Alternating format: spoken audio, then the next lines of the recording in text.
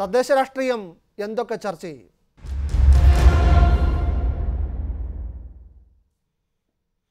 പശുവിന്റെ പേരിലുള്ള കൊലയ്ക്കെതിരെ കേരളത്തിലും പ്രതികരണമുണ്ടാകുമെന്ന് V S Achuthanandan. B J പിയുടെ അരും കൊലയ്ക്കെതിരെ സുധീരനടക്കമുള്ള കോൺഗ്രസ് നേതാക്കൾക്ക് മൗനമാണെന്നും വി എസ് കുറ്റപ്പെടുത്തി. തദ്ദേശ തെരഞ്ഞെടുപ്പിൽ യു ഡി എഫിന് മൂന്നാം ചേരിക്കും കനത്ത തിരിച്ചടി ഉണ്ടാകുമെന്നും വി എസ് അച്യുതാനന്ദൻ ഏഷ്യാനെറ്റ് ന്യൂസിന് നൽകിയ പ്രത്യേക അഭിമുഖത്തിൽ പറഞ്ഞു. തദ്ദേശ തെരഞ്ഞെടുപ്പ് അടുത്തിരിക്കെ പശുവിന്റെ പേരിൽ രാജ്യത്ത് അരങ്ങേറുന്ന കൊലപാതകങ്ങൾ വി എസ് സംസ്ഥാനത്തും ചർച്ചയാക്കുന്നു. രാജ്യത്താകെ ന്യൂനപക്ഷം ആശങ്കയിലാണ്. എന്നിട്ടും കേരളത്തിലെ കോൺഗ്രസുകാർക്ക് അനക്കമില്ല.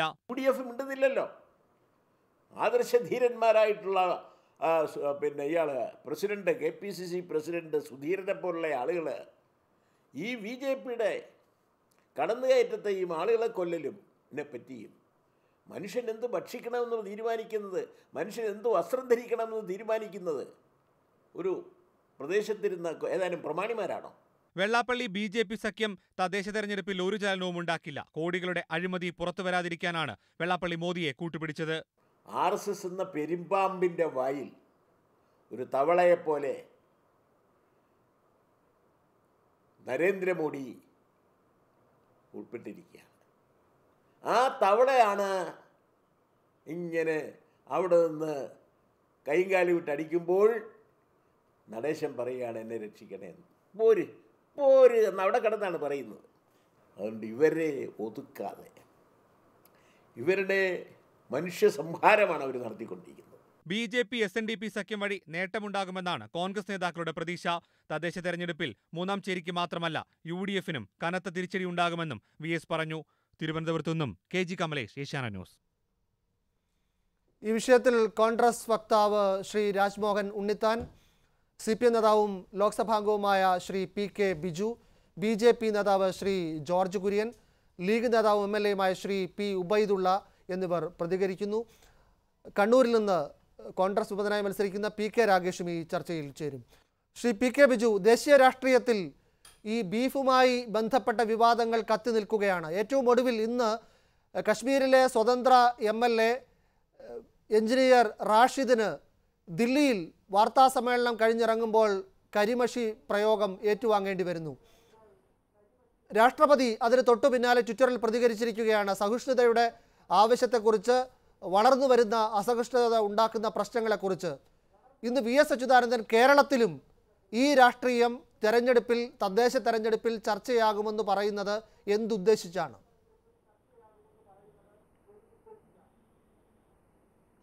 വിനു നമ്മളിന്ന് രാവിലെ പത്രങ്ങൾ വായിച്ചപ്പോൾ ബി ജെ പി അധ്യക്ഷൻ അമിത്ഷാ ഇതാ ബി ജെ പി പാർലമെന്റ് അംഗങ്ങളെയും ബി ജെ പി നേതാക്കന്മാരെയും ഹരിയാന മുഖ്യമന്ത്രിയെ എല്ലാം വിളിച്ച് ശാസിച്ചിരിക്കുന്നു. ഇനി ഒരു കുഴപ്പവുമില്ല എന്നാണ് പത്രദ്വാര ബി ജെ പിയും ആർ എസ് എസും എല്ലാം ഇന്ന് പ്രതികരിച്ചത്. പക്ഷേ വർഗീയ ശക്തികളുടെ യഥാർത്ഥ അജണ്ട നമുക്കറിയുമല്ലോ. എന്ന് അതുകൊണ്ടാണ് ബീഫ് പാർട്ടി നടത്തിയെന്ന് ആക്ഷേപിച്ചുകൊണ്ട് നമ്മുടെ കാശ്മീരിലെ ഒരു എം എൽ എ സ്വതന്ത്ര എം എൽ എ എഞ്ചിനീയർ റാഷിദിനെ ന്യൂഡൽഹിയിൽ ആക്രമിക്കുന്നതിന് വേണ്ടി ബി ജെ പി ആണ് കരിയോയിൽ പ്രയോഗം നടത്തിയിരിക്കുന്നത്. അവർ പറയുന്നത് ഞങ്ങളൊരു പാർട്ടിയിലും ബന്ധമില്ല എന്നാണ് പക്ഷേ ശിവസേന കരിയോയിൽ പ്രയോഗം സുധീന്ദ്ര കുൽക്കർണിക്കെതിരെ മുൻ ബി ജെ പി നേതാവിനെതിരെ നടത്തിയപ്പോൾ നിസ്സംഗതമായ സമീപനം സ്വീകരിച്ച ഗവൺമെന്റാണ് നമ്മുടെ രാജ്യത്തുള്ളത്. നമ്മുടെ രാജ്യത്തിന്റെ പ്രസിഡന്റ് തന്നെ എനിക്ക് വന്ന ഈ രാജ്യത്ത് അസാധാരണമായി സംഭവിക്കുന്നതാണ് രണ്ടു തവണ. ഒക്ടോബർ മാസം ഒമ്പതാം തീയതിയും ഒക്ടോബർ മാസം പത്തൊമ്പതാം തീയതിയും ഇന്ത്യൻ പ്രസിഡന്റ് ഇന്ത്യയുടെ സംസ്കാരത്തെയും അയ്യായിരം വർഷം പഴക്കമുള്ള രാജ്യത്തെ തകർക്കാൻ ശ്രമിക്കുന്ന ശക്തികളെ വിനു കേൾക്കുന്നില്ല. ഏതാനും മിനിറ്റ് മുമ്പും ട്വിറ്ററിലൂടെ അദ്ദേഹം വീണ്ടും അത് ഓർമ്മിപ്പിച്ചു. ഈ വളർന്നു വരുന്ന അസഹിഷ്ണുതയ്ക്കെതിരായി അദ്ദേഹം പ്രതികരിച്ചു. അതേ പിന്നെ അതിനകത്ത് തന്നെ അദ്ദേഹം ചൂണ്ടിക്കാണിച്ചത് ഇത് ലോകം ഇത് ഇന്ത്യയുടെ വളർച്ച ഇങ്ങനെയാണ് കാണുന്നത്. ഇത് രാജ്യത്തിന് വലിയ കടുത്ത നാണക്കേടാണ് എന്ന് അദ്ദേഹത്തിന്റെ അസന്തുഷ്ടി ആ ട്വിറ്ററിൽ അദ്ദേഹം പ്രകടിപ്പിച്ചിരിക്കുകയാണ്. ഇന്ത്യയിലെ മോഡി ഗവൺമെന്റ് ലോകത്തെ നേതാവാകാൻ പരിശ്രമിക്കുമ്പോൾ രാജ്യത്തെ മതന്യൂനപക്ഷങ്ങളെ ഓരോരുത്തരെ പിടിച്ച് ഓരോ മതവിഭ ഒരു മതവിഭാഗത്തിനെ തെരഞ്ഞു പിടിച്ച് ആക്രമിക്കുന്ന സാഹചര്യം ഉണ്ടാകുന്നു. അപ്പോൾ യഥാർത്ഥത്തിൽ ബീഫല്ല ഇവിടെ. മതന്യൂനപക്ഷങ്ങൾക്ക് രാജ്യത്ത് ജീവിക്കാൻ കഴിയില്ല എന്ന സാഹചര്യം സൃഷ്ടിക്കുകയാണ്.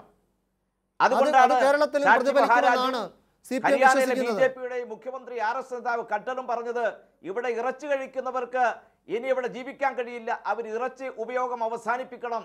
രാജസ്ഥാനിൽ പറയുന്നു മീൻ ഉപയോഗിച്ചാൽ ഇവിടെ അത് നമ്മുടെ ഹിന്ദു പുരാണമനുസരിച്ച് മീൻ ഒരു അവതാരമാണ്. അതുകൊണ്ട് അത് കഴിക്കാൻ പാടില്ല എന്ന പ്രഖ്യാപനം വരുന്നു. ഇത് ദേശീയ രാഷ്ട്രീയത്തിൽ മാത്രമല്ല കേരളത്തിലെ രാഷ്ട്രീയത്തിലും മതനിരപേക്ഷമായ കേരളത്തിലും വലിയ ചർച്ചയ്ക്ക് വിഷയമാകും. എന്ന കാര്യത്തിൽ യാതൊരു സംശയവും വേണ്ട. രാജ്മോഹൻ ഉണ്ണിത്താൻ ന്യൂനപക്ഷങ്ങൾ സി പി എമ്മിനൊപ്പം ഇടതുപക്ഷത്തിനൊപ്പം നിൽക്കും കാരണം ദേശീയ തലത്തിൽ ഉയർന്നു വരുന്ന ഇത്തരം അസഹിഷ്ണുത അധിഷ്ഠിതമായ പ്രതിഷേധങ്ങൾ അതിന് കോൺഗ്രസ് നേതൃത്വത്തിന്റെ മൃദു സമീപനം അത് ഗുണകരമാകുമെന്നാണ് പറയുന്നത്. ഈ തദ്ദേശ തെരഞ്ഞെടുപ്പിൽ ഭരണ തുടർച്ചയ്ക്കായി പോരാടുന്ന നിങ്ങൾക്ക് നിങ്ങളുടെ ഈ മൗനം വിനയാകുമോ? ഒരിക്കലുമില്ല. മതാത്മകമായ സമൂഹത്തിൽ നിന്ന് ഈ രാജ്യത്തെ ഒരു മതേതര രാഷ്ട്രമാക്കി മാറ്റിയത് കോൺഗ്രസ് ആണ് ആ മതേതരത്വം കഴിഞ്ഞ അറുപത്തിയെട്ട് വർഷക്കാലമായി ജനങ്ങളുടെ പ്രാണവായുവാക്കി കാത്തു സൂക്ഷിക്കുന്നതും കോൺഗ്രസ് ആണ് അതേസമയം സ്വാതന്ത്ര്യത്തിന് മുമ്പും സ്വാതന്ത്ര്യത്തിന് ശേഷവും ഈ രാജ്യം ഒരു ഹിന്ദു രാഷ്ട്രമാക്കി മാറ്റണമെന്ന് വാദിക്കുന്ന ആളുകളാണ് പഴയ Hindu Mahasabha R S S Janasangham ഇപ്പോഴത്തെ ബി ജെ പി. അപ്പോൾ സ്വാഭാവികമായി ജീവിതത്തിൽ ഒരിക്കലും യോജിക്കാത്ത രണ്ട് സമാന്തര രേഖകളാണ് കോൺഗ്രസ് പ്രത്യയശാസ്ത്രവും അതുപോലെ തന്നെ ഹിന്ദുരാഷ്ട്രവാദവും അപ്പോൾ സ്വാഭാവികമായി ഒരു കാരണവശാലും ഹിന്ദുത്വത്തോട് ഒരു മൃദു സമീപനം കോൺഗ്രസ് ഒരു കാലത്തും സ്വീകരിച്ചിട്ടില്ല എന്നുള്ളത് പ്രതികരിക്കുന്നില്ലെന്നാണ് വി എസ് ചോദിച്ചത്? അല്ല പ്രതികരിക്കേണ്ട കാര്യത്തിൽ മാത്രം പ്രതികരിച്ചാൽ മതിയല്ലോ. കോൺഗ്രസിന്റെ പ്രത്യയശാസ്ത്രത്തെക്കുറിച്ച് ഒരു അവബോധം ഇന്ത്യൻ ജനങ്ങളിൽ സൃഷ്ടിക്കേണ്ട യാതൊരു ആവശ്യകതയും കോൺഗ്രസിനെ സംബന്ധിച്ചിടത്തോളം ഇല്ല. അതുകൊണ്ട് അനാവശ്യമായ പ്രസ്താവനകൾക്ക് എതിരെ പ്രതികരിക്കേണ്ട കാര്യം കോൺഗ്രസിനില്ല. അതുകൊണ്ടാണ് കോൺഗ്രസ് പല കാര്യത്തിലും പ്രതികരിക്കാത്തത്. സ്വാഭാവികമായി ഞങ്ങളെ സംബന്ധിച്ചിടത്തോളം മതേതരത്വത്തിന്റെ കാര്യത്തിൽ ഒരു വിട്ടുവീഴ്ചയുമില്ല. ബി ജെ പിയുമായി ഞങ്ങൾക്ക് യാതൊരു സന്ധിയുമില്ല.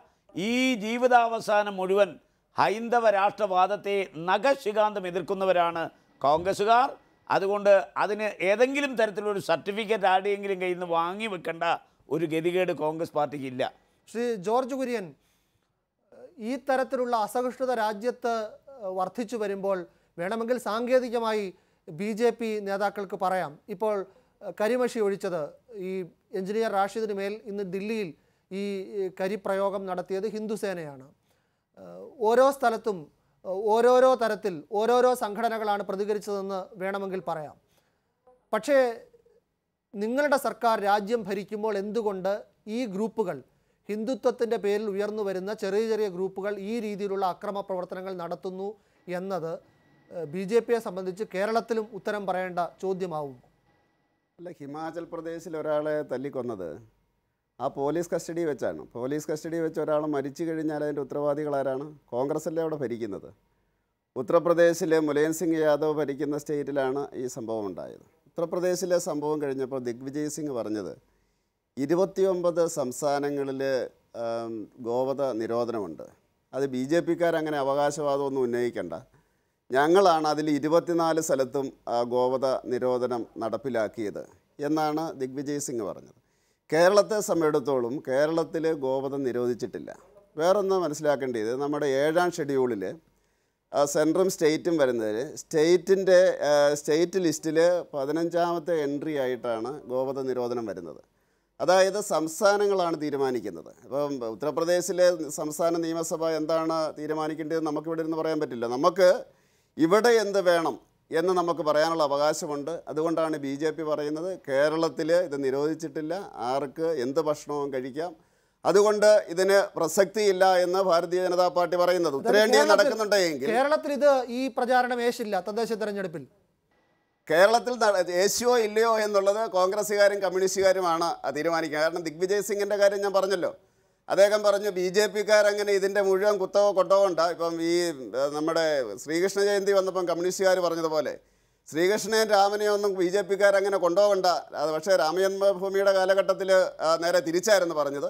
പത്ത് വർഷത്തിനുള്ളിൽ കമ്മ്യൂണിസ്റ്റുകാർ പറയും ഗോവധ നിരോധനം കേരളത്തിൽ നടപ്പിലാക്കണമെന്ന് ഇതുവരെയുള്ള അവരുടെ ചരിത്രം വെച്ച് നോക്കിയാൽ അങ്ങനെയാണ്. പക്ഷേ ഞങ്ങൾ പറയുന്നു ഇവിടെ സമയത്തോളം ഇന്ന് എന്ത് നിയമമാണോ നിലനിൽക്കുന്നത്? അതാണ് നടപ്പിലാക്കേണ്ടത്. അതാണ് ഭരണഘടന പറയുന്നത്.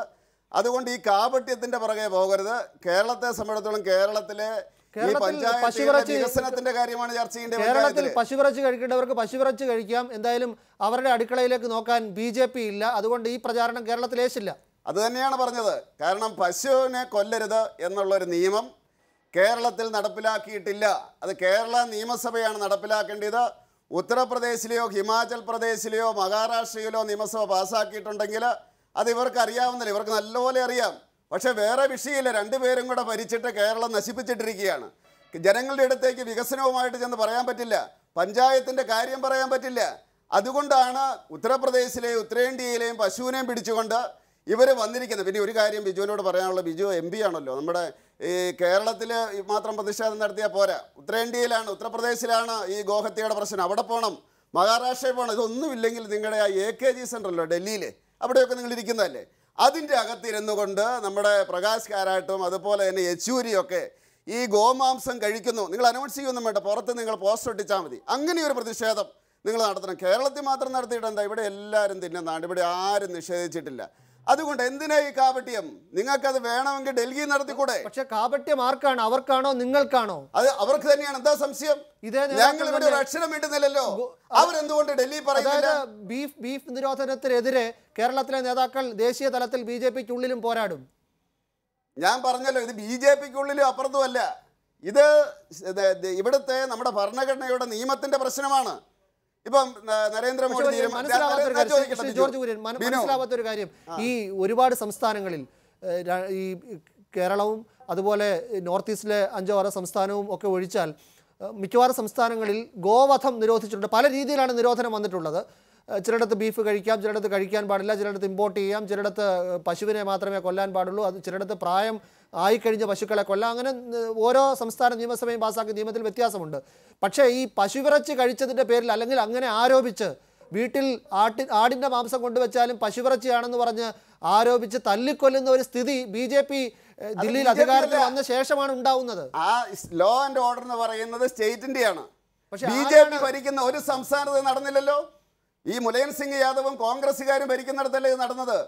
ലോ ആൻഡ് ഓർഡർ നരേന്ദ്രമോദിക്ക് വിട്ടുകൊടുക്കാൻ തയ്യാറാണോ? കോൺഗ്രസ്സുകാരും കമ്മ്യൂണിസ്റ്റുകാരും? അങ്ങനെയാണെങ്കിൽ നിങ്ങളുടെ നേതാക്കൾ അങ്ങനെയാണെങ്കിൽ- നിങ്ങളുടെ നേതാക്കൾ എന്തുകൊണ്ടാണ് ഈ ഹരിയാന മുഖ്യമന്ത്രി അടക്കം പ്രമുഖരായ നേതാക്കൾ എന്തുകൊണ്ടാണ് ഉടൻ തന്നെ ഇതേ വാദവുമായി തല്ലിക്കൊന്നവരുടെ അതേ വാദവുമായി രംഗത്ത് വരുന്നത്? അത് തെറ്റാണെന്ന് പാർട്ടിയുടെ അഖിലേന്ത്യാ കമ്മിറ്റി പറഞ്ഞല്ലോ.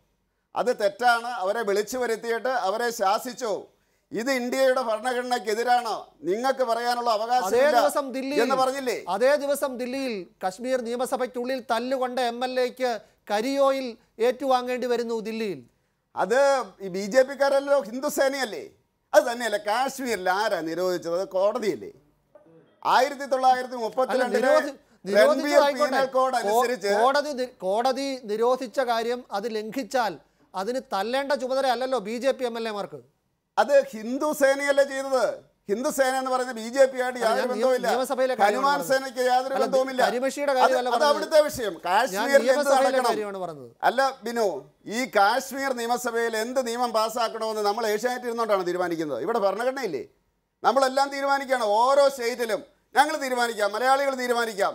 എന്ത് പാസ്സാക്കണം? ജോർജ് ഒരു കാര്യം ബാംഗ്ലൂരിൽ ഓസ്ട്രേലിയൻ ദമ്പതിമാരിൽ ഒരു അവർ ഇവിടെ വിനോദസഞ്ചാരികളായി വന്നതാണ്. അവരിൽ ഒരാളുടെ ശരീരത്തിൽ ഒരു ഹിന്ദു ദേവതയുടെ ടാറ്റു കണ്ടു. പിടിച്ചു നിർത്തി ആളുകൾ മർദ്ദിക്കുകയാണ്. പോലീസ് സ്റ്റേഷനിൽ പോയി രക്ഷപ്പെടേണ്ട അവസ്ഥ ഉണ്ടാകുന്നു.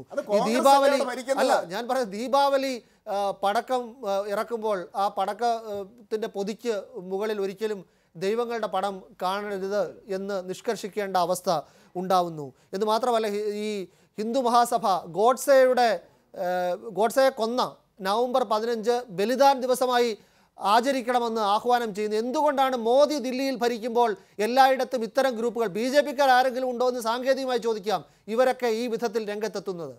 അല്ല ബിനു ഫഡ്നവിസിന്റെ ഒരു സ്റ്റേറ്റ് ഒറ്റ ലൈനേ ഉണ്ടായിരുന്നുള്ളൂ. ഗോഡ്സേയും കൊണ്ട് വരുന്നവരെ പിടിച്ച് ജയിലിലിടും. വേറെ ഒന്നും പറഞ്ഞില്ല. മഹാരാഷ്ട്ര പ്രശ്നം തീർന്നല്ലോ. ഈ പറഞ്ഞത് ഏത് സ്റ്റേറ്റിലാണ്? കർണാടകയിലെ കാര്യം പറഞ്ഞു യു പിയിലെ കാര്യം പറഞ്ഞു ഹിമാചൽ പ്രദേശിലെ കാര്യം പറഞ്ഞു. ബി ജെ പി ഭരിക്കുന്ന ഏത് സ്റ്റേറ്റിലാണ് ഇങ്ങനെയുള്ള പ്രശ്നം ഉണ്ടായിരിക്കുന്നത്? അപ്പൊ ഇവരല്ലേ ഇതിന്റെ പിന്നിൽ? ഇവരല്ലേ ഇതിന് മറുപടി പറയേണ്ടത്? ബി ജെ പി അല്ല മറുപടി പറയേണ്ടത്. പിന്നെ മറ്റ് സ്റ്റേറ്റിൽ ചെറിയ തിരിച്ചു വരാം ശ്രീ ജോർജ് കുര്യൻ. ശ്രീ ഉബൈദുള്ള ഈ ബി ജെ പിക്കെതിരെ ദേശീയ തലത്തിൽ ഉയർന്നു വരുന്ന ആരോപണങ്ങൾ ഹിന്ദുത്വ സംഘടനകൾക്കെതിരെ ഉയരുന്ന ആരോപണങ്ങൾ അത് തെരഞ്ഞെടുപ്പിൽ പ്രചാരണ വിഷയമാകുമോ? ഇന്ന് വി എസ് പറഞ്ഞതുപോലെ അതിൽ ശക്തമായ നിലപാടെടുക്കാത്ത കോൺഗ്രസിന്റെ യു ഡി എഫ് നേതാക്കളുടെ പ്രതികരണങ്ങൾ നിങ്ങൾക്ക് വിനയാവുകയും എൽ ഡി എഫിന് മുൻതൂക്കം നൽകുകയും ചെയ്യുമോ?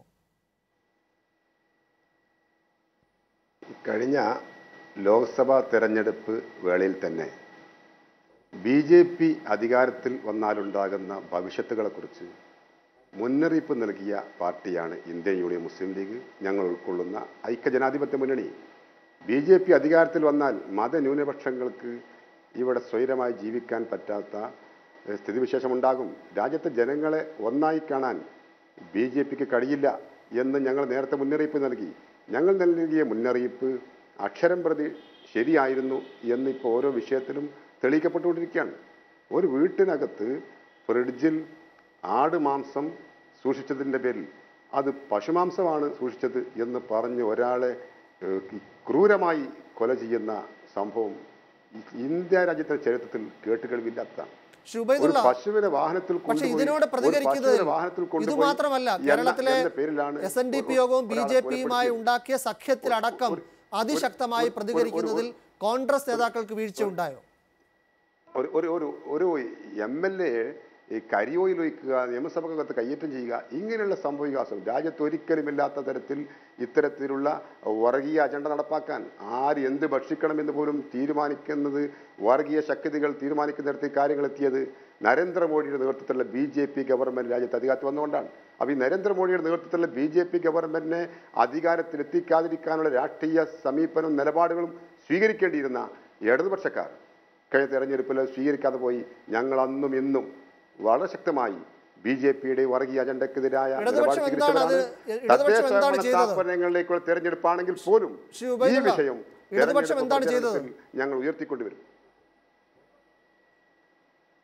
തദ്ദേശ സ്വയംഭരണ സ്ഥാപനങ്ങളിലേക്കുള്ള തെരഞ്ഞെടുപ്പാണെങ്കിൽ പോലും രാജ്യത്തെ വർഗീയവൽക്കരിക്കാനുള്ള ഈ ഹൈന്ദവ സംഘടനകളുടെയും അതിന് കൂട്ടുനിൽക്കുന്ന ബി ജെ പി ഗവൺമെന്റിന്റെയും ഈ നിലപാടിനെതിരായി അതിശക്തമായ ക്യാമ്പയിൻ ഈ തെരഞ്ഞെടുപ്പുമായി ബന്ധപ്പെട്ട് ഞങ്ങൾ നടത്തിക്കൊണ്ടിരിക്കുകയാണ്. അതാണ് അതിനാണോ ഇരുപത്തഞ്ച് പഞ്ചായത്തിൽ ഏറ്റുമുട്ടുന്നത് ശുബൈദുള്ള മലപ്പുറത്ത് ഇരുപത്തഞ്ച് പഞ്ചായത്തിൽ നഗരസഭയിൽ ബ്ലോക്ക് പഞ്ചായത്തിൽ കോൺഗ്രസും ലീഗുമാണ് ഏറ്റുമുട്ടുന്നത്. ഈ ഇതിനെ പ്രതിരോധിക്കാനാണോ?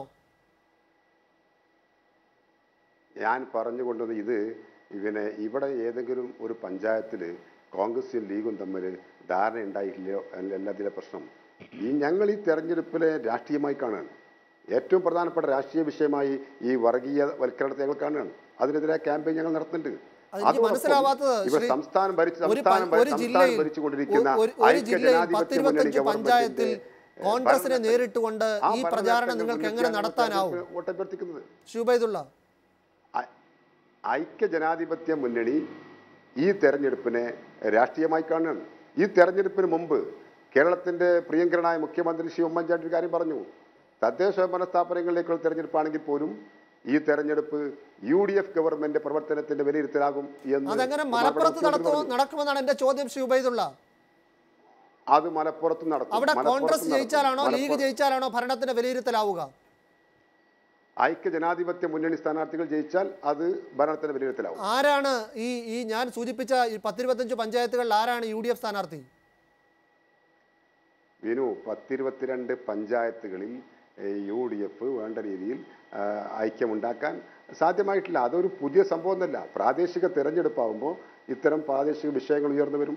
പ്രാദേശികമായി വ്യത്യസ്ത സംഘടനകളാകുമ്പോൾ സംഘടനാ പ്രവർത്തകന്മാർ തമ്മിലുള്ള അഭിപ്രായ വ്യത്യാസങ്ങളൊക്കെ ഉയർന്നു വരെ. സ്വാഭാവികമാണ്.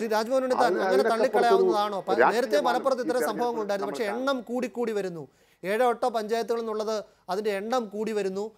ഇപ്പോൾ ഈ തരത്തിലുള്ള പോരാട്ടം വർഗീയ ശക്തികൾക്കെതിരെ പല രീതിയിലുള്ള പോരാട്ടമെന്ന് ഷുബൈദുള്ള പറയുന്ന പോരാട്ടം ഈ രീതിയിൽ നടത്തുന്നത് എവിടെ ചെന്നെത്തും?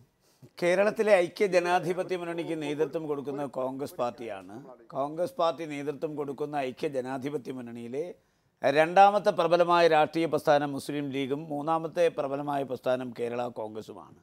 സംസ്ഥാന തലത്തിൽ കോൺഗ്രസ് അതിശക്തമാണെങ്കിലും മലപ്പുറം ജില്ലയിൽ ശാക്തികമായി പരിശോധിച്ചാൽ ഒന്നാം കക്ഷി ലീഗും രണ്ടാം കക്ഷി കോൺഗ്രസുമാണ്. അപ്പോൾ കേരളത്തിലെ പതിമൂന്ന് ജില്ലകളിൽ കോൺഗ്രസ് ശക്തമായ സാന്നിധ്യമുള്ള സ്ഥലങ്ങളിൽ മുഴുവൻ ഈ ഘടകകക്ഷികളെ എല്ലാ രാഷ്ട്രീയ പ്രസ്ഥാനങ്ങളെയും ഒരുമിച്ച് കൊണ്ടുപോകാൻ കോൺഗ്രസ് പരമാവധി ശ്രമിച്ചിട്ടുണ്ട്. പക്ഷേ ദൗർഭാഗ്യമെന്ന് പറയട്ടെ മലപ്പുറം ജില്ലയിൽ കോൺഗ്രസും മുസ്ലിം ലീഗും പരസ്പരം മത്സരിക്കുന്നത് വേദനാജനകമായ ഒരു സംഭവവികാസമാണ്. ഇതിനു മുമ്പും വിനു പറഞ്ഞ പോലെ ഈ സംഭവവികാസങ്ങൾ ഉണ്ടായിട്ടുണ്ടെങ്കിലും താരതമ്യേന വളരെ കുറച്ച് സ്ഥലങ്ങൾ മാത്രമാണ് പരസ്പരം മത്സരിച്ചിരുന്നത്.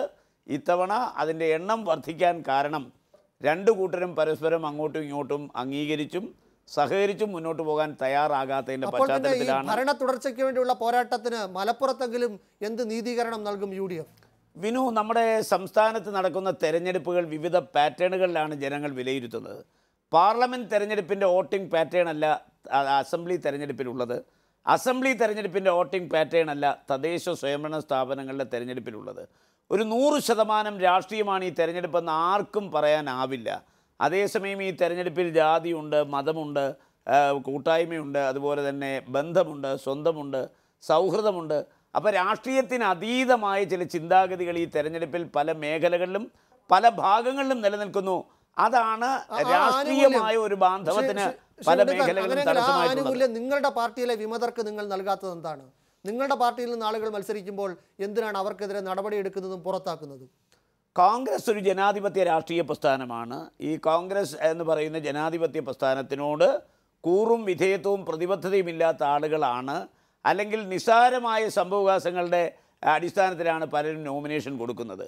ഈ പാർട്ടിയോട് ആത്യന്തികമായി കൂറും വിധേയത്വമുള്ളവർ ഏതെങ്കിലും കാരണവശാൽ തന്റെ വ്യക്തിപരമായ താല്പര്യം നടന്നില്ലെങ്കിൽ പോലും പാർട്ടിക്ക് വേണ്ടി തന്റെ വ്യക്തിപരമായ താല്പര്യങ്ങളെ പലപ്പോഴും ബലികരിക്കാറുണ്ട് അപ്പോൾ വ്യക്തിപരമായ താല്പര്യങ്ങൾക്ക് അതീതമായി പാർട്ടിയെ സ്നേഹിക്കാൻ കഴിയാതെ വരുമ്പോഴാണ് പലരും വിമതന്മാരായി അതിനെ? പ്രോത്സാഹിപ്പിക്കാനാവില്ല. അത് മലപ്പുറത്ത് ലീഗിനും കോൺഗ്രസിനും ബാധകമല്ലേ? തീർച്ചയായിട്ടും മുസ്ലിം ലീഗിനും കോൺഗ്രസിനും ബാധകമാണ്. ഒരിക്കലും ഈ രണ്ട് രാഷ്ട്രീയ പ്രസ്ഥാനങ്ങൾ തമ്മിൽ പരസ്പരം മത്സരിക്കാൻ പാടില്ലായിരുന്നു. മത്സരിക്കുന്നത് വളരെ ദൗർഭാഗ്യകരമാണ്. പിന്നെ രണ്ട് കൂട്ടരും അതൊരു സൗഹൃദ മത്സരമായി ചിത്രീകരിക്കുമ്പോൾ അങ്ങോട്ടും ഇങ്ങോട്ടും പ്രത്യേകിച്ച് പിണങ്ങേണ്ട ഒരു കാര്യമില്ല. ആര് ജയിച്ചാലും ഒരു സ്പോർട്സ്മാൻ സ്പിരിറ്റിൽ രണ്ട് കൂട്ടരും കാണുമെന്ന് വ്യക്തമായി വ്യക്തമാക്കിയ സാഹചര്യത്തിൽ അതിനെക്കുറിച്ച് കൂടുതൽ വ്യാകുലപ്പെടേണ്ട കാര്യമില്ല. ആര് ജയിച്ചാലും രണ്ട് കൂട്ടരും ഐക്യ ജനാധിപത്യ മുന്നണിയിൽ തന്നെ മലപ്പുറം ജില്ലയിലടക്കമുള്ള പോരാട്ടം.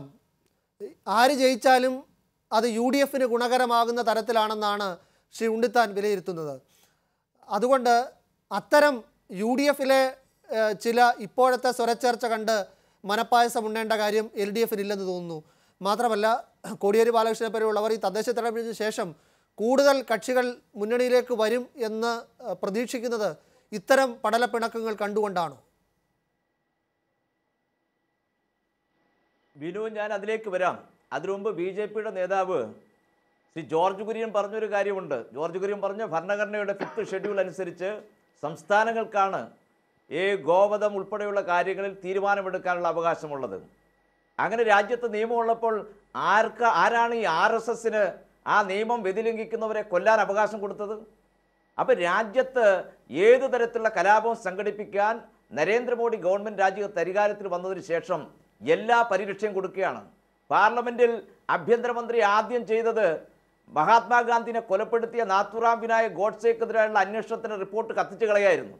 അന്ന് കോൺഗ്രസ് ഒരു പ്രതികരണം നടത്തില്ല ഈ രാജ്മോഹൻ ഉണ്ണിത്താന്റെ നേതാവ് ദിഗ്വിജയ് സിംഗ് പറഞ്ഞത് ഇത് ഞങ്ങളാണ് ആദ്യം ഇതിന്റെ ചാമ്പ്യന്മാരെന്നാണ്.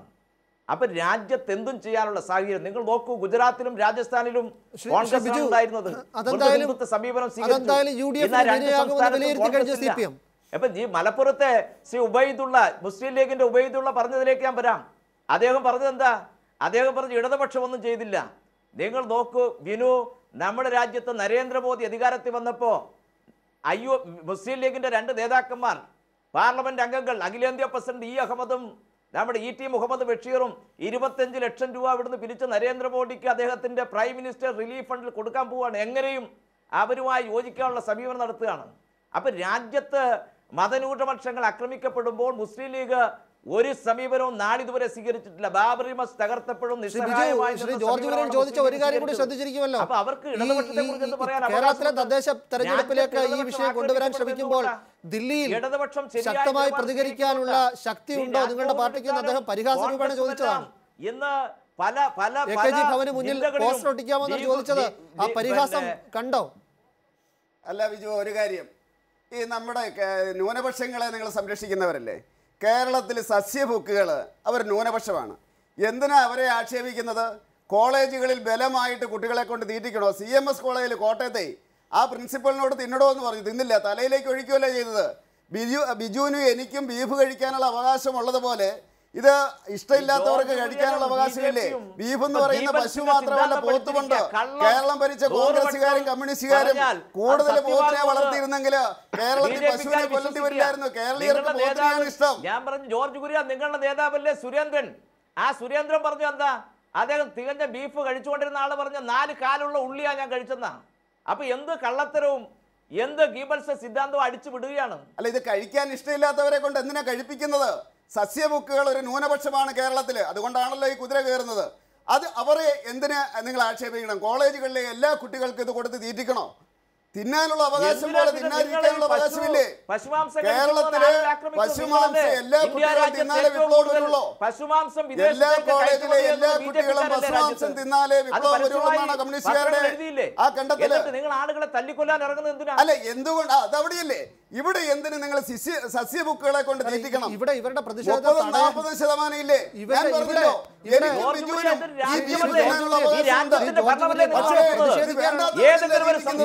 ആളുകളെ അവകാശത്തെ തടയാനും ശ്രമിക്കേണ്ട കാര്യമില്ലല്ലോ. അല്ല,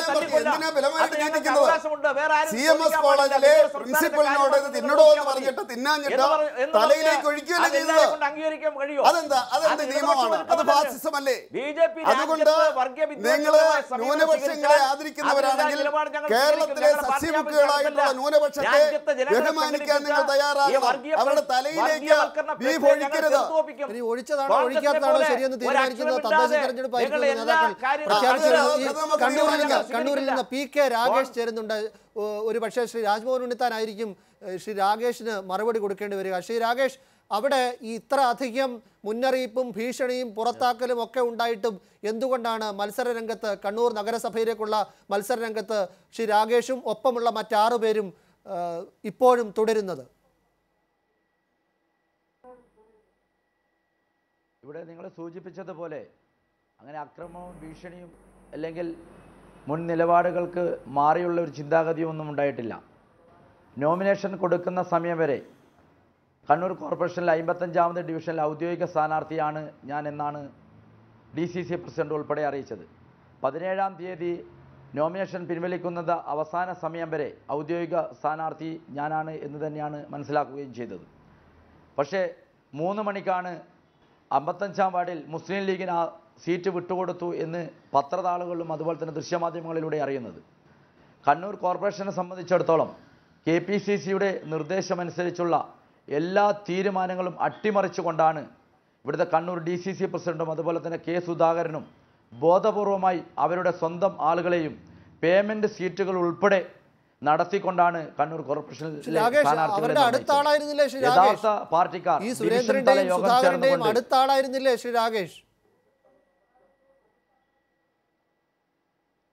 കെ കെ സു ഞാൻ കണ്ണൂരിലെ കോൺഗ്രസ് പ്രവർത്തകനായിരുന്നു. കോൺഗ്രസ് നേതാവ് എന്നുള്ള രീതിയിൽ കെ സുധാകരന്റെയും അതോടൊപ്പം തന്നെ K Surendran D C C president ആയതിനു ശേഷവും കോൺഗ്രസിന്റെ പ്രവർത്തകൻ എന്നുള്ള രീതിയിൽ അവരോടൊത്ത് പ്രവർത്തിച്ച ഒരാളാണ്. അവർ പറയുന്നത് എന്റെ വലങ്കൈ ആയിരുന്നു. ശ്രീ സുരേന്ദ്രൻ പറയുന്നത് കേട്ടോ എന്റെ വലങ്കൈ ആയിരുന്നു രാകേഷ്. വേദനയോടെ പുറത്താക്കുകയാണെന്ന്. അദ്ദേഹം പറയുന്നത് മുഴുവൻ അസത്യങ്ങളും കണ്ണൂരിലെ കോൺഗ്രസ് പ്രസ്ഥാനത്തിന്റെ തേരാളി എന്നുള്ള രീതിയിൽ സമൂഹ മധ്യത്തിൽ അദ്ദേഹം പറയുന്ന പല കാര്യങ്ങളും അതോടൊപ്പം തന്നെ പാർട്ടി നേതൃത്വത്തെ അറിയിക്കുകയോ പാർട്ടി നേതൃത്വവുമായി ചർച്ച ചെയ്യപ്പെടാതെയും കാര്യങ്ങൾ ഉൾപ്പെടെയാണ് ഇപ്പോൾ മാധ്യമങ്ങൾക്ക് മുമ്പായി മുമ്പാകെ പറയുന്നത്. അദ്ദേഹത്തിന്റെ വലങ്കൈയായിരുന്നെങ്കിൽ കൈയായിരുന്നെങ്കിൽ കേരള പ്രദേശ് കോൺഗ്രസ് കമ്മിറ്റിയുടെ നിർദ്ദേശമനുസരിച്ചുള്ള മണ്ഡലം പ്രസിഡന്റുമാരെ മാറ്റി നിർത്തുമ്പോൾ പത്ത് വർഷത്തിൽ കൂടുതലുള്ള മണ്ഡലം പ്രസിഡന്റുമാരെയും അയോഗ്യരും അല്ലെങ്കിൽ പ്രവർത്തനരഹിതമായ മണ്ഡലം പ്രസിഡന്റുമാരെ മാത്രമാണ് മാറ്റണമെന്ന് പറഞ്ഞത്. പക്ഷേ ഏഴ് വർഷം മാത്രമായ എന്നെയും എന്നെ മാറ്റിയതിന് അദ്ദേഹത്തിന് അദ്ദേഹം പറഞ്ഞത് എന്റെ മണ്ഡലത്തിൽ എന്നോടൊപ്പം നിൽക്കുന്ന ഒരാളെ കിട്ടണം എന്തിനാണ് എന്ന രീതിയിലാണ് കെ പി സി സിയോട് പണം വാങ്ങി സീറ്റ് കൊടുക്കുകയാണോ? കോൺഗ്രസിൽ കണ്ണൂരിൽ നടക്കുന്നത് എന്താണ്? പണം വാങ്ങിയല്ലാതെ ഏതെങ്കിലും ഡിവിഷൻ കമ്മിറ്റിയോ ഏതെങ്കിലും പാർട്ടി തലത്തിലുള്ള ചർച്ചകളോ അല്ലെങ്കിൽ ഏതെങ്കിലും പാർട്ടി തലത്തിലുള്ള നേതാക്കന്മാരുടെ പ്രത്യേക താല്പര്യമനുസരിച്ചോ ആണ് ഇവിടെ കാര്യങ്ങൾ നടന്നിരിക്കുന്നത്. ഡിവിഷൻ കമ്മിറ്റി നിർദ്ദേശം പോലും ഇല്ലാതെയാണ് വത്സൻ മഠത്തിൽ എന്ന് പറയുന്ന കണ്ണൂരിലെ ഏറ്റവും വലിയ വിദ്യാഭ്യാസ കച്ചവടക്കാരന്റെ ഭാര്യയ്ക്ക് സീറ്റ് കൊടുത്തിരിക്കുന്നത്. ആ സീറ്റ് കൊടുത്തതിന് ന്യായീകരണം എന്താണെന്ന് പറയണം. ആ പ്രദേശത്തുള്ള മഹിളാ കോൺഗ്രസിന്റെയും കോൺഗ്രസിന്റെയും എത്രയോ കാലമായി പാർട്ടിക്ക് വേണ്ടി പ്രവർത്തിക്കുന്ന ഒരുപാട് കോൺഗ്രസ് വനിതാ കോൺഗ്രസിന്റെ പ്രവർത്തകന്മാരെ മാറ്റി നിർത്തിക്കൊണ്ടാണ് ഇവിടെ ശ്രീജക്ക് അവിടെ സ്ഥാനാർത്ഥിത്വം ശബ്ദമാണിത്. പഞ്ചായത്ത് പ്രസിഡന്റ് ആയിരുന്ന ആളാണ് രാകേഷ്. വിനു കേരളത്തിലെ പതിനാല് ജില്ലകളിലും തദ്ദേശ സ്വയംഭരണ സ്ഥാപനങ്ങളിലെ തെരഞ്ഞെടുപ്പിൽ സ്ഥാനാർത്ഥികളെ നിശ്ചയിക്കാൻ ചില മാനദണ്ഡങ്ങൾ കൽപ്പിച്ച് ചില കമ്മിറ്റികളെ നിയോഗിച്ചിട്ടുണ്ട്. ആ കമ്മിറ്റികൾ കോർപ്പറേഷൻ തലത്തിൽ വ്യത്യസ്തമായ കമ്മിറ്റിയാണ് മുനിസിപ്പാലിറ്റികൾ വ്യത്യസ്തമായ കമ്മിറ്റിയാണ് പഞ്ചായത്ത് തലങ്ങളിൽ വ്യത്യസ്തമായ കമ്മിറ്റിയാണ് ഈ കമ്മിറ്റികളുടെ പ്രവർത്തനം ഏകോപിപ്പിക്കുവാനും പരാതികൾക്ക് അന്തിമമായ പരിഹാരം കാണാനും ജില്ലാതലത്തിലെ കമ്മിറ്റികളെയും കെ പി സി സി നിയോഗിച്ചിട്ടുണ്ട്. ആ കമ്മിറ്റിയുടെ തീരുമാനത്തിന്റെ അടിസ്ഥാനത്തിലാണ് കേരളത്തിലെ പതിനാല് ജില്ലകളിലും സ്ഥാനാർത്ഥികളെ പ്രഖ്യാപിച്ചിട്ടുള്ളത്. ഈ കണ്ണൂർ ജില്ലയിലെ സ്ഥാനാർത്ഥി നിർണയവുമായി ബന്ധപ്പെട്ട് ഏതെങ്കിലും ഒരു വിഭാഗത്തിൽ നിന്ന് എന്തെങ്കിലും പരാതി ഉയർന്നു വന്നതായി ഞാനിതുവരെ മനസ്സിലാക്കിയിട്ടില്ല. മാത്രമല്ല അവിടെ ജില്ലാ കോൺഗ്രസ് കമ്മിറ്റി പ്രസിഡന്റുണ്ട് മുൻ പ്രസിഡന്റും കെ പി സി സി ഭാരവാഹിയും മുൻ എം പിയുമായി സുധാകരനുണ്ട് നൂറുദ്ദീൻ സാഹിബുണ്ട് അതുപോലെ തന്നെ കെ പി സി സിയുടെ ജനറൽ സെക്രട്ടറി സതീശൻ പാച്ചേനിയുണ്ട് ശ്രീ പി രാമകൃഷ്ണനുണ്ട്. നിരവധി കെ പി സി സി ഭാരവാഹികളും അതുപോലെ തന്നെ ജില്ലയിലെ നേതാക്കന്മാരും അടങ്ങുന്ന സമിതിയാണ് ഈ നിർണയം നടത്തിയിട്ടുള്ളത്. പിന്നെ നമുക്കറിയാം ഒരു മുന്നണി സംവിധാനമായപ്പോൾ ഇപ്പം മലപ്പുറത്തിൽ നിന്ന് തികച്ചും വിഭിന്നവും വ്യത്യസ്തമായ ഒരു കാര്യമാണ് നമ്മൾ കണ്ണൂരിൽ കേട്ടത്. അവസാന നിമിഷം വന്നപ്പോൾ കണ്ണൂരിലൊരു സീറ്റ് മുസ്ലിം ലീഗിന് വിട്ടുകൊടുക്കേണ്ടി വന്നത് വഴിയാണ് നമ്മുടെ ബഹുമാന്യ സുഹൃത്തിന് സീറ്റ് നഷ്ടപ്പെട്ടതെന്ന് അദ്ദേഹം തന്നെ പറയുന്നതെന്ന് വളരെ വ്യക്തമാണ്. അപ്പം മുന്നണി സംവിധാനത്തിൽ പരമാവധി ഈ രാകേഷിന്റെ അതെ രാകേഷിന്റെ സീറ്റൊക്കെ അവസാന നിമിഷം വരെ കോൺഗ്രസ് സ്ഥാനാർത്ഥിയെ നിർത്തി മത്സരിപ്പിക്കാൻ തീരുമാനിച്ചാണ്. ഒരുപക്ഷെ അവിടെ രാകേഷ് തന്നെ ആയിരിക്കാം സ്ഥാനാർത്ഥി. പക്ഷെ ദൗർഭാഗ്യമെന്ന് പറയട്ടെ ആ സ്ലീ സീറ്റ് ലീഗിന് വിട്ടുകൊടുക്കേണ്ടി വന്നതുകൊണ്ടാണ് രാകേഷിനെ സ്ഥാനാർത്ഥി പട്ടികയിൽ നിന്ന് ഒഴിവാക്കേണ്ട ഒരു സാഹചര്യം വന്നത്. രാകേഷ് വളരെ കാലത്തെ പ്രവർത്തന പാരമ്പര്യമുള്ള ഒരാളാണ്. രാകേഷ് ഒരു കാര്യം മനസ്സിലാക്കണം. ഇത്തരം ഘട്ടം വരുമ്പോൾ എന്നെ കൂടെ ഒക്കെ മനസ്സിൽ കാണണം. നാൽപ്പത്താറ് വർഷം മത്സ പിന്നെ തെരഞ്ഞ കോൺഗ്രസിൽ നിന്നിട്ട് എനിക്കൊരു തെരഞ്ഞെടുപ്പിൽ പോലും മത്സരിക്കാൻ അവസരം കിട്ടിയിട്ടില്ല. എല്ലാവർക്കും എല്ലാ കാലത്തും മത്സരിക്കാൻ അവസരം കിട്ടിയെന്ന് വരില്ല. ശ്രീ രാജ്ഭവൻ ഉണ്ണിത്താന്റെ സീറ്റ് പോലും പേയ്മെന്റ് സീറ്റിൽ പോയെന്നാണ് അദ്ദേഹം പറഞ്ഞത്. ഞാൻ വിനു അന്ന് പറഞ്ഞിട്ടുള്ള കാര്യങ്ങളെല്ലാം അടിയുറച്ചു നിൽക്കുന്നു. ഒന്നുപോലും ഞാൻ മാറ്റി പറഞ്ഞിട്ടില്ല മാറ്റി പറയത്തില്ല. ആ ശീലം എനിക്കില്ല. ഇവിടെ കണ്ണൂരിൽ സംഭവിച്ചത് ശ്രീ രാകേഷിന്റെ വർത്തമാനത്തിൽ തന്നെ ക്ലിയർ ആണ്. ലീഗിന് ആ സീറ്റ് വിട്ടുകൊടുക്കേണ്ടി വന്നുകൊണ്ടാണ് അദ്ദേഹത്തിന് ആ സീറ്റ് നഷ്ടമായത്. ഈ പത്ത് നാൽപ്പത്തഞ്ച് വർഷത്തെ പ്രവർത്തനത്തിനിടയിൽ ആകെ കിട്ടിയ ഒരു സ്ഥാനം എന്ന് പറയുന്നത് ഇപ്പോൾ ഈ ഫിലിം ഡെവലപ്മെന്റ് കോർപ്പറേഷന്റെ ചെയർമാൻ സ്ഥാനം മാത്രമാണ്. അതും ഈ സർക്കാരിന്റെ കാലം അവസാനിക്കാറാവുമ്പോൾ. അതൊക്കെ രാകേഷ് കാണുന്നുണ്ടോ?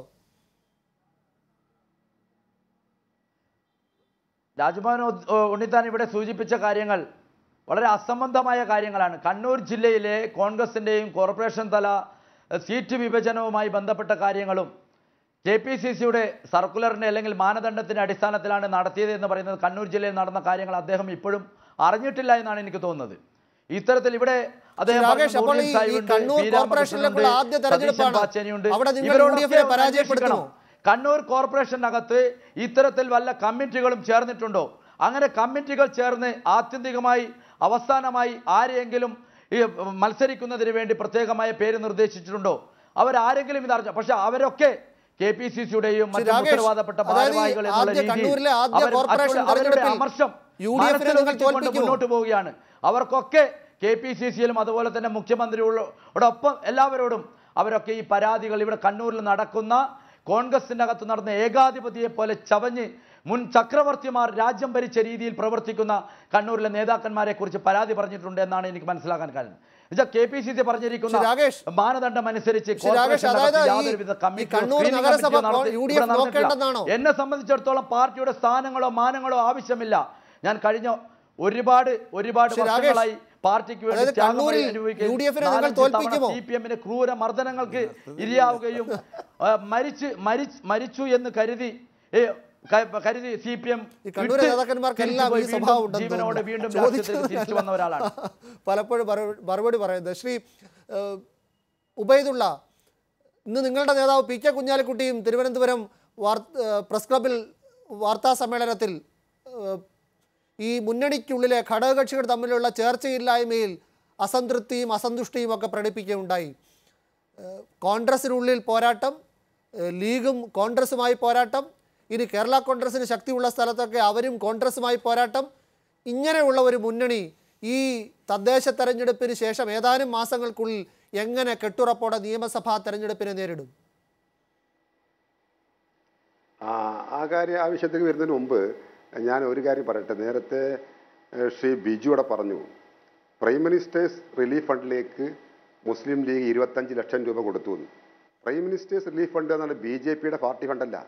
അത് രാജ്യത്തെ രോഗികളടക്കമുള്ള പാവപ്പെട്ട ദുരിതം അനുഭവിക്കുന്നവർക്ക് സഹായം നൽകുന്നതിന് വേണ്ടി ഓരോ കാലഘട്ടത്തിലും സ്ഥിരമായുള്ള സംവിധാനമാണ് primary prime ministers relief fund. മുമ്പും പ്രൈം മിനിസ്റ്റേഴ്സ് റിലീഫ് ഫണ്ടൊക്കെ മുസ്ലിം ലീഗ് പാർട്ടി സംഭാവന കൊടുത്തിട്ടുണ്ട്. ഞങ്ങൾ ജീവകാരുണ്യ പ്രവർത്തനം രാഷ്ട്രീയ പ്രവർത്തനത്തിന്റെ ഭാഗമായി കാണുന്ന പാർട്ടിയാണ്. അതുകൊണ്ട് അത് ബി ജെ പിയുമായി അടുക്കാനുള്ള ശ്രമമാണ് എന്ന് വ്യാഖ്യാനിക്കുന്നത് ഒട്ടും ശരിയല്ല. അത് ഗുജറാത്തിൽ പിരിച്ചത് നിങ്ങൾ കൊടുത്തോ? ഉബൈദുള്ള ഗുജറാത്തിൽ ഫണ്ട് പിരിച്ചത് നിങ്ങൾ കൊടുത്തോ? ഗുജറാത്തും കൊടുത്തിട്ടുണ്ട്. ഞങ്ങൾ ഏത് എവിടെയൊക്കെ ദുരിതം അനുഭവിക്കുന്നവരെ സഹായിക്കാൻ പണം പിരിച്ചോ അതെല്ലാം കൃത്യമായി എത്തിച്ചിട്ടുണ്ട്. അത് ആ- വിഷയം ചർച്ച ചെയ്യേണ്ട സമ- സമയത്ത് നമുക്ക് അത് കൃത്യമായി ചർച്ച ചെയ്യാം.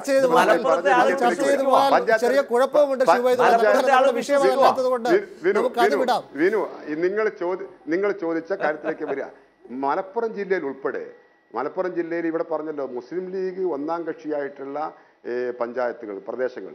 അവിടെയൊക്കെ പരമാവധി വിട്ടുവീഴ്ച ചെയ്ത് ഐക്യ ജനാധിപത്യ മുന്നണി സംവിധാനം മുന്നോട്ട് കൊണ്ടുപോകുന്നതിനുള്ള ശ്രമം മുസ്ലിം ലീഗ് പാർട്ടി നടത്തിയിട്ടുണ്ട്. കോൺഗ്രസ് ആണ് നിങ്ങൾക്ക് നിങ്ങൾക്ക് കോൺഗ്രസ് ആണ്. പറഞ്ഞില്ല അത് ഞാൻ പറഞ്ഞില്ല അത് ഞാൻ അത് ഞാൻ പറഞ്ഞില്ല. ഞാൻ പറഞ്ഞത് നിങ്ങൾക്ക് ഇപ്പോ മീഡിയക്ക് എല്ലാ സംവിധാനം ഉണ്ടല്ലോ. നിങ്ങൾ നിഷ്പക്ഷമായി അന്വേഷണം നടത്തി. ആരെടുത്ത കുഴപ്പം? ഇപ്പോൾ ഒരു തെരഞ്ഞെടുപ്പ് മുഖത്ത് വെച്ചിട്ട് പിന്നെ ഇന്ന പഞ്ചായത്തിൽ ഇന്ന എടുത്ത കുഴപ്പം ഇന്ന പഞ്ചായത്തിൽ ഇന്ന എടുത്ത കുഴപ്പം എന്ന് പറയാൻ പറ്റില്ല. ഐക്യ ജനാധിപത്യ മുന്നണി വളരെ ശക്തമായി ഒറ്റക്കെട്ടായി മുന്നോട്ട് പോകണം എന്ന നിലയിൽ പരമാവധി വിട്ടുവീഴ്ച ലീഗിന്റെ ഭാഗത്തുനിന്നുണ്ട്. ആ മുസ്ലിം ലീഗ് പാർട്ടി ഐക്യ ജനാധിപത്യ മുന്നണിക്ക് പുറത്തുള്ള ഒരു കക്ഷികളുമായും ഈ തെരഞ്ഞെടുപ്പിൽ രാഷ്ട്രീയ സഖ്യമുണ്ടായിട്ടില്ല. നേരെ മറിച്ച് ഇടതുപക്ഷക്കാർ പല മ- മത്സരിക്കുന്നത് ഏത് ബാനറിലാണ് നിങ്ങൾ പരിശോധിക്കണം? ജനകീയ മുന്നണി വികസന മുന്നണി എന്നൊക്കെ പേരിട്ട് നിങ്ങളുടെ ഇടയിലെ ഭിന്നത, നിങ്ങളുടെ ഇടയിലെ ഭിന്നത മുതലാക്കാൻ അവർ പല നാടകങ്ങളും കളിക്കുന്നുണ്ടാവും വർഗീയ കക്ഷികളുമായി. ചേർന്നിട്ടാണ് ഇവിടെ അവർക്ക് ശക്തി കുറഞ്ഞ മലപ്പുറത്ത് പലയിടത്തും. ശ്രീ ബിജു വളരെ ആത്മവിശ്വാസത്തോടെ യു ഡി എഫ് നേതൃത്വം മുന്നോട്ട് പോവുകയാണ്. ചെറിയ ചെറിയ സംഭവങ്ങൾ പലയിടത്തും ഉണ്ടെങ്കിലും കോൺഗ്രസിലെ വിമതരാണെങ്കിലും യു ഡി എഫിലെ ഇതുപോലെയുള്ള സൗഹൃദ മത്സരങ്ങളാണെങ്കിലും ഇതൊരു ഭരണ തുടർച്ചയായിരിക്കും ഇത് ഭരണത്തിന്റെ വിലയിരുത്തലായിരിക്കും. ആത്മവിശ്വാസത്തോടെ മുഖ്യമന്ത്രി പറയുന്നു. ഭരണ തുടർച്ചയ്ക്കുള്ള പോരാട്ടത്തിന്റെ തുടക്കമാണെന്ന് അദ്ദേഹം ഇന്ന് കാസർഗോട്ടും ആവർത്തിക്കുന്നു. അങ്ങനെ ഇരിക്കെ നിങ്ങളുടെ പ്രതീക്ഷ ഇപ്പോഴും യു ഡി എഫ് വിട്ടുവരുന്ന ചില ഘടകകക്ഷികളിലാണോ? അതിൽ ലീഗുമുണ്ടോ? ബിനു ഇവിടെ കാണേണ്ടത് ശ്രീ ഉമ്മൻചാണ്ടിയും ബി ജെ പിയും തമ്മിലുള്ള അവിശുദ്ധ സഖ്യം. നമ്മുടെ സംസ്ഥാനത്ത് പല പഞ്ചായത്തുകളും ഇപ്പം നിൽക്കുകയാണ്. ഇപ്പം ഞാൻ തൃശ്ശൂരിലാണ് തിരഞ്ഞെടുപ്പ് കേന്ദ്രീകരിക്കുന്നത്. ഇവിടെ പല പഞ്ചായത്തുകളിൽ ബി ജെ പിയുടെ താമര ചിഹ്നമുള്ള സ്ഥലത്ത് കൈപ്പത്തിയില്ല. ഇപ്പം മുളങ്കുന്നത്ത് ഗ്രാമപഞ്ചായത്ത് ഇവിടെ തൃശ്ശൂർ ജില്ലയിലെ ഗ്രാമപഞ്ചായത്താണ്. അവിടെ രണ്ടാം വാർഡിൽ കോൺഗ്രസ് ഉണ്ടെങ്കിൽ മൂന്നാം വാർഡിൽ ബി ജെ പി. അങ്ങനെ പല വാർഡുകളിലും ഇപ്പോൾ തന്നെ സഖ്യത്തിൽ മത്സരിക്കുകയാണ് ഇന്ന് കുന്നംകുളം നഗരസഭയിൽ മത്സരിക്കുന്നതിനെ കുറിച്ച് ബി ജെ പിയുടെ സ്ഥാനാർത്ഥിക്കെതിരായി സ്ഥാനാർത്ഥിയെ നിർത്താൻ കഴിയാത്തതുകൊണ്ട് ശ്രീ സി പി ജോൺ പറഞ്ഞത് ഞങ്ങൾ പൊതു സ്വതന്ത്രനെ കണ്ടെത്തുമെന്നാണ്. അപ്പോൾ ഇതെല്ലാം കാണിക്കുന്നത് ബി ജെ പിയുമായി പഴയ കാലത്തെ പോലെ വോട്ട് കച്ചവടം ഈ തെരഞ്ഞെടുപ്പ് നടത്തി തെരഞ്ഞെടുപ്പ് വിജയം കൈവരിക്കാൻ കഴിയുമെന്നുള്ള ഉമ്മൻചാണ്ടിയുടെ പ്രതീക്ഷയാണ്.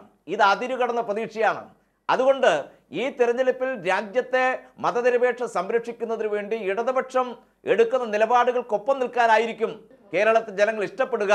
അത് തെരഞ്ഞെടുപ്പിന് ശേഷം ഈ നമുക്ക് ആ വിജയം ഈ ആക്രമണം അഴിച്ചുവിടുന്നത്. കാരണം ഈ അരുവിക്കരയിൽ ബി ജെ പി രണ്ടാം സ്ഥാനത്ത് വരുമെന്നും ഉമ്മൻചാണ്ടിയുടെ പ്രഖ്യാപനം കോൺഗ്രസിലേക്ക് ഒരുപാട് വോട്ടുകൾ. ഒഴുകിയെത്താൻ സഹായിച്ചുവെന്നാണ് പിന്നീട് പല രാഷ്ട്രീയ നിരീക്ഷകരും വിലയിരുത്തിയിട്ടുള്ളത്. ഇവിടെ കോൺഗ്രസും ബി ജെ പിയും ഒരുമിച്ച് നിൽക്കുന്നു എന്ന ഒരു പ്രചാരണത്തിലൂടെ ഇടതുപക്ഷം ന്യൂനപക്ഷ വോട്ടുകളടക്കം സമാഹരിച്ചുകൊണ്ട് മുന്നേറ്റമുണ്ടാക്കുമോ? മുന്നേറ്റം ഉണ്ടാക്കുമോ അല്ല ബിജു കോട്ടയം ജില്ലക്കാരനാണ്.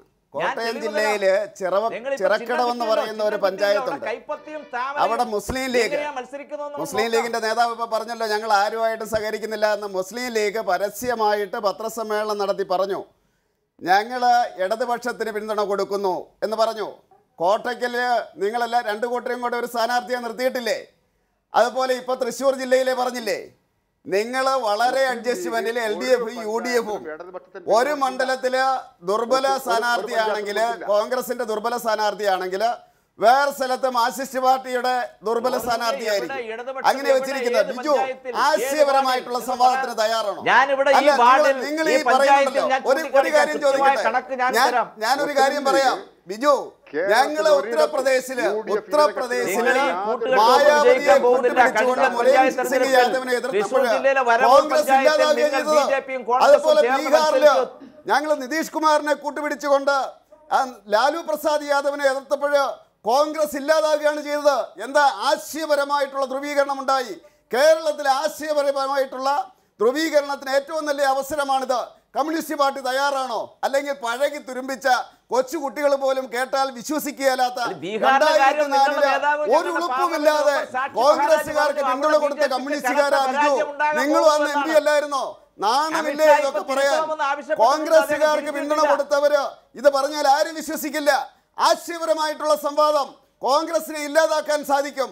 ബി ജെ പിയും അതുപോലെ തന്നെ കമ്മ്യൂണിസ്റ്റുകാരും ആശയപരമായിട്ടുള്ള സംവാദം നടത്താൻ ധ്രുവീകരണം ഉണ്ടാകും കോൺഗ്രസ് ഇല്ലാതാകും. ശ്രീ രാജ്മോഹൻ ഉണ്ണിത്താൻ അല്ല ഞാനിപ്പോൾ വളരെ രസകരമായ ഒരു സംഭവം ഇന്ത്യയ്ക്ക് സ്വാതന്ത്ര്യം നേടിത്തന്ന കോൺഗ്രസ്സാണ് ഇവിടെ ജനാധിപത്യം കൊണ്ടുവന്ന കോൺഗ്രസ്സാണ് മതേതരത്വം സ്ഥാപിച്ച കോൺഗ്രസ്സാണ്. ഇപ്പോൾ കുര്യന്റെ ഈ വർത്തമാനം കേട്ടപ്പോൾ അദ്ദേഹം അദ്ദേഹത്തിന്റെ പാർട്ടി ശ്രമിക്കുന്നത് കോൺഗ്രസ് മുക്ത ഭാരതത്തിനാണെന്ന് വ്യക്തമായി. അപ്പോൾ വളരെ വ്യക്തമായി കോൺഗ്രസ് ഇല്ലാത്തൊരു ഇന്ത്യ കെട്ടിപ്പടുക്കാൻ ബി ജെ പി ശ്രമിക്കുന്നു. അപ്പോൾ ആരാ ഇവിടെ മുഖ്യ ശത്രു അതേസമയം ഈ കമ്മ്യൂണിസ്റ്റ് പാർട്ടിയുടെ നേതാവായ ബിജു ഇവിടെ വന്നിരുന്ന് എന്താ പറയുന്നത്? അന്ധമായ കോൺഗ്രസ് വിരോധം അദ്ദേഹത്തിന്റെ മനസ്സിൽ ഇപ്പോഴും കിടക്കുക. അതുകൊണ്ട് എന്താ പടവലങ്ങ വളരുന്ന പോലല്ലേ ആ പാർട്ടി വളരുന്നത്? എന്തെങ്കിലും ഗതിയുണ്ടോ? പശ്ചിമ ബംഗാളിലെ സ്ഥിതി എന്താ? ഞാനിവിടെ പറഞ്ഞത് ബി ജെ പിക്ക് കോൺഗ്രസ് തകരണം. കാരണം ഇതൊരു ഹിന്ദു രാഷ്ട്രമാക്കി മാറ്റണമെങ്കിൽ മതേതര രാഷ്ട്രീയ പ്രസ്ഥാനമായ കോൺഗ്രസിനെ ഇല്ലായ്മ ചെയ്യണം. ബി ജെ പി അങ്ങനെ ചിന്തിക്കുന്ന ന്യായം. പക്ഷേ കമ്മ്യൂണിസ്റ്റുകാരന് കോൺഗ്രസ് നശിപ്പിക്കുന്നതുകൊണ്ട് അല്ലെങ്കിൽ കോൺഗ്രസിനെ തകർക്കുന്നതുകൊണ്ട് എന്താ നേട്ടം ഇവർക്ക്? അപ്പോ ബി ജെ പിയും കോൺഗ്രസുമായി ധാരണയാണ് ഐക്യമാണെന്ന് പറഞ്ഞു പരത്തി. ഈ ന്യൂനപക്ഷങ്ങൾ വോട്ട് തട്ടിയെടുക്കാൻ ശ്രമിക്കുമ്പോഴൊക്കെ അവർ തകർന്ന് തരിപ്പണമാകുന്ന കാഴ്ച ഈ അരുവിക്കര തെരഞ്ഞെടുപ്പ് കഴിഞ്ഞിട്ടും ആ യാഥാർത്ഥ്യം അവർ ഉൾക്കൊള്ളുന്നില്ലെങ്കിൽ എന്താ ചെയ്യുന്നത്? ഇനി ഒരു കാര്യം ഇവിടെ പറയാം. ബിജു ഇപ്പം പറയുന്നത് എന്നെ തല്ലരുത് അമ്മാവ ഞാൻ നന്നാവില്ല. ഈ തദ്ദേശ സ്വയംഭരണ സ്ഥാപനങ്ങളുടെ തെരഞ്ഞെടുപ്പ് കഴിയുമ്പോഴെങ്കിലും മാർക്സിസ്റ്റ് പാർട്ടി അവരുടെ മൂല്യച്യൂതിയുടെ യഥാർത്ഥ കാരണം കണ്ടുപിടിക്കണം. ഇനിയെങ്കിലും ബംഗാളിലെ മാർക്സിസ്റ്റുകാർ പറഞ്ഞതുപോലെ അന്ധമായ കോൺഗ്രസ് വിരോധം കളഞ്ഞ് രാജ്യത്തിന്റെ മുഖ്യ ശത്രു ബി ജെ പി ആണെന്ന് മാർക്സിസ്റ്റുകാരൻ അംഗീകരിക്കണം. അംഗീകരിക്കാത്തോടെ കാലം ഈ ചാനലിൽ വന്നിരുന്ന് കോൺഗ്രസിനെ ആക്ഷേപിക്കുമ്പോൾ ജനങ്ങളിത് കാണുന്നു. അവർക്കറിയാം ന്യൂനപക്ഷങ്ങൾക്കറിയാം അവരുടെ രക്ഷകരാരാണെന്ന് അതുകൊണ്ട് ഓരോട്ട് പോലും ആ പെട്ടിക്കകത്ത് വീഴാൻ പോകുന്നില്ല. എന്തിനാ ഈ അധര വ്യായാമം കാണിക്കുന്നത്? ഇതുകൊണ്ട് ഒരു പ്രയോജനമില്ലെന്ന് ബിജു ഇനിയെങ്കിലും മനസ്സിലാക്കണം. ഇവിടെ കുര്യൻ പറഞ്ഞതാണ് കാര്യം. കോൺഗ്രസ് മുക്ത ഭാരതമാണ് അവർ ആഗ്രഹിക്കുന്നത്. എന്താ കാരണം? കോൺഗ്രസ് മതേതരത്വത്തിന് വേണ്ടി നിലകൊള്ളുന്നു. ഹിന്ദുരാഷ്ട്രമാക്കി രാജ്യത്തെ മാറ്റണമെങ്കിൽ കോൺഗ്രസ് മുക്തമാകണം. ഇപ്പോഴും നിലനിൽക്കുന്നും ഉണ്ട്. തീർച്ചയായും തദ്ദേശ തെരഞ്ഞെടുപ്പിൽ ഈ ദേശീയ വിഷയങ്ങളും പ്രചാരണത്തിൽ ഉണ്ടാകുമെന്ന് പ്രതീക്ഷിക്കാം. വളരെ നന്ദി Shri Rajmohan എടുത്താൻ Shri P K Biju Shri George Kurian Shri Ubaidullah Shri Rakesh ഈ വിഷയത്തിൽ പ്രതികരിച്ചത് ന്യൂസ് അവരുടെ